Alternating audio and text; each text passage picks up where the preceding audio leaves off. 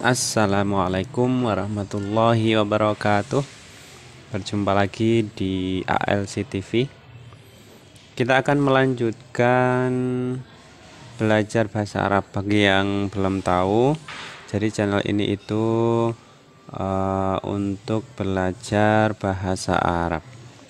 Oke, kali ini kita akan membahas tema bahasa Arab judulnya adalah maling kundang seperti yang kita tahu ya, uh, cerita ini sudah sudah sangat terkenal sekali di Indonesia. Nah, ini pelajaran ke 36 Malin Kundang. Oke. Kita lihat kosakatanya dulu sebelum dimulai. Oke. Bisa dibaca ya.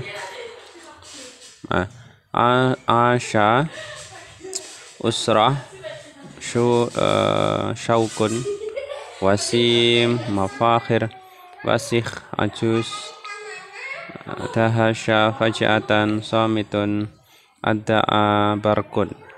Nah, Bisa dibaca sendiri nanti. Nah, Barkun itu apa dan sebagainya. Nanti bisa dibaca sendiri. Oke langsung saja kita masuk ke teksnya ya masuk ke teksnya kita terjemahkan bersama-sama. Oke nanti kalau misalnya ada yang kurang pas teman-teman boleh mengingatkan boleh membenarkan boleh mengoreksi uh, apa yang kita terjemahkan bersama ini.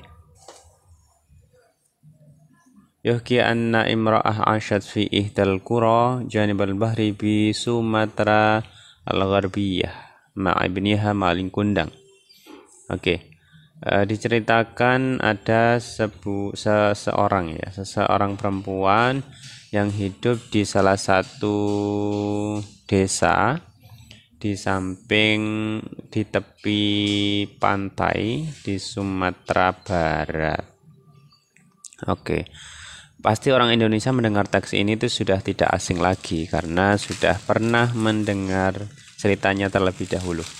Ma'a ibniha maling kundang bersama uh, anak laki-lakinya yaitu maling kundang. Huma min usrah miskina.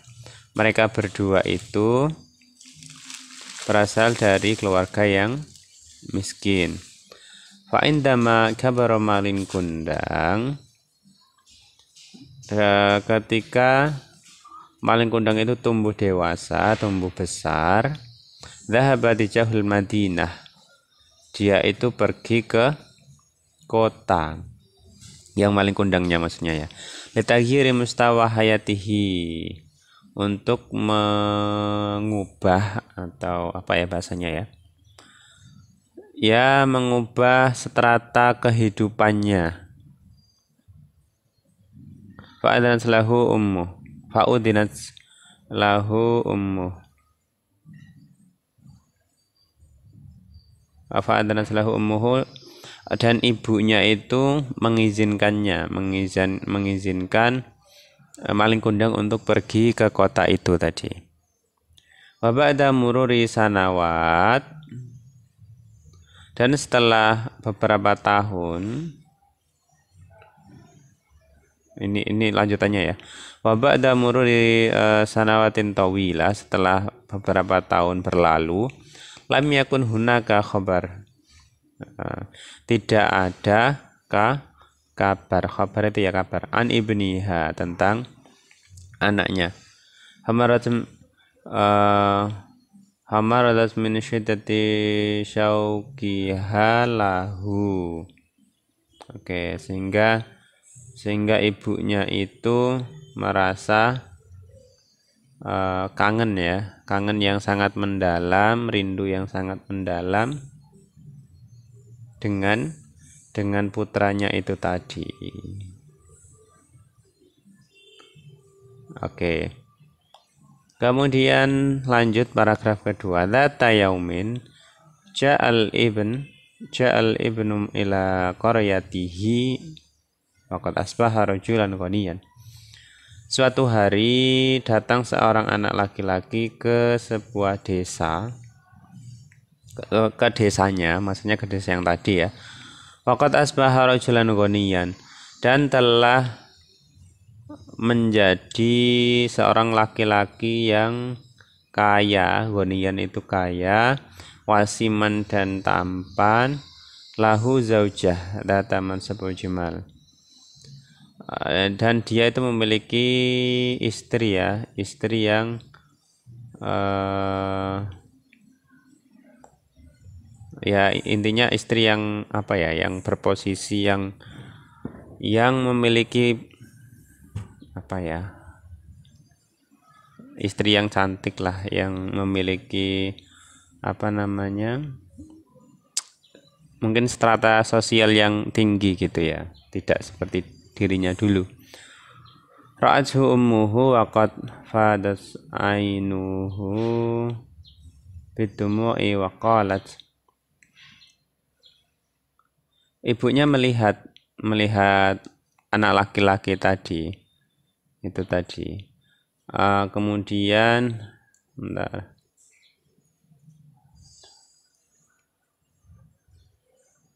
Uh, ibunya melihat kemudian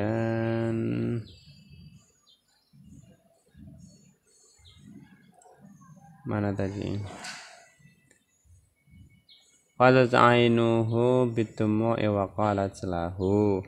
Ibunya itu meneteskan air mata, kemudian berkata kepada anak laki-laki itu, "Hal roja'ta ya ibni? Apakah kamu sudah pulang wahai anakku Malin?" gitu ya. Malin kundang, arafaha Malin. Malin mengetahuinya, lakinnahu yungkiruha li'annahu yastahi min min libasiha alwasikh Malin mengetahuinya bahwa itu ibunya ya.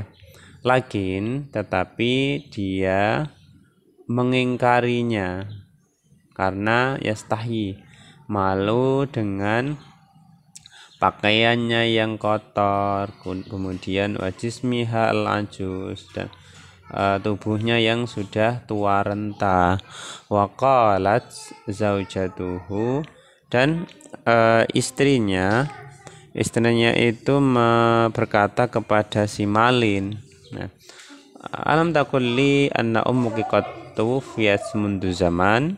Gitu ya. Istrinya kan tentunya marah nah, katanya alam takulli bukankah kamu sudah mengatakan kepadaku bahwa ibumu itu sudah meninggal sejak dulu? Gitu ya. Ini. Ajaba Malin. Malin menjawab, hialas hialaisat ummi lakinnaha sa'ilah tad'a innaha ummi. Dia itu bukan ibuku tetapi uh, apa ya, hanya seorang yang bertanya yang ngaku-ngaku bahwa dia ad adalah ibuku gitu ya. Dahasyatil ummu ala jawabihi. Nah, ibunya kaget mendengar jawaban si Malin itu ghadaban syadidan dan marah dengan kemarahan yang sangat sangat sangat marah nah, kemudian wada'at alaihil bil adab minallahi ala ingkari kemudian meninggalkannya. Nah, meninggalkannya. Wada'at bil adabi minallah. Dengan siksa dari Allah atas ingkarannya atau uh, pengingkarannya. Si malin itu tadi maksudnya. Fajaatan fajaatan atau suddenly gitu ya nazalal matar syadidan turunlah hujan yang sangat deras wa asabal wa asabal barq